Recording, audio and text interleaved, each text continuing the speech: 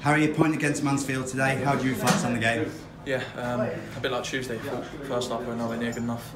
Um, for me personally and everyone, we just went up to up to the races first half and we didn't come out um, sharp. Um, so probably deservedly went down 1 0 at half time. But second half, just fantastic. I thought we completely deserved the point. Um, very unlucky not to go on and win it. Second half, it seemed that you know it really showed how much this means to the team. Yeah, um, that's what I mean. We're, we're itching to get that first win. Um, we're, we're so close. That's the thing. We're we're, we're still such a positive group. Um, we're not letting the results affect um, the way we are in camp.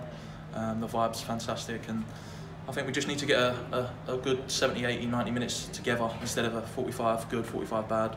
But um, like I've said in there, we're, we're a new team, new management, we're gelling, so just a bit need a bit of patience from, from everyone around us, and it will come. And for you personally, first goal for Macclesfield Town, you must be glad to get off the mark. Yeah, um, it's about time.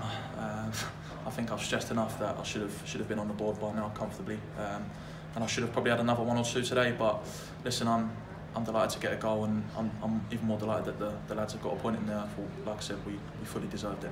Walsall away on Tuesday night, another chance to um, to giant kill, if you like. Yeah, exactly. Um, I don't know how they got on today, but they're, they're on a good run of form. But listen, we'll go there full of confidence. We're, we're two games unbeaten now, so why not? Eh? Why not go there, cause an upset, and uh, hopefully draw a big team.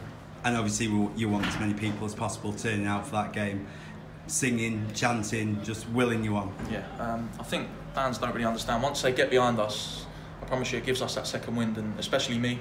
Um, once they, I heard them get behind the second half, it just makes you want to run more. Um, so if we can get as many behind us on Tuesday night uh, as possible, then that's fantastic for, for all of us.